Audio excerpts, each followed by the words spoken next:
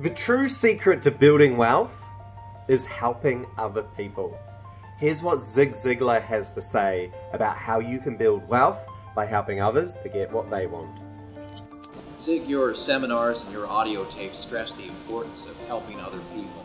Explain that concept to me. Well, basically, it's built around the idea that you can have everything in life you want if you'll just help enough other people get what they want. Sam Walton put it this way I enriched myself because I enriched so many other people.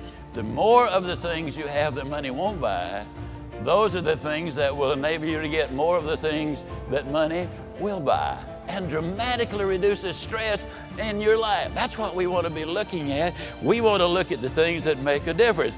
I believe your philosophy of life is a key point. Here's the philosophy I've built my life on, my career on.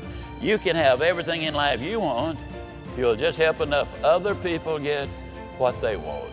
That's true in your personal life, it's true in your family life, it's true in your corporate life.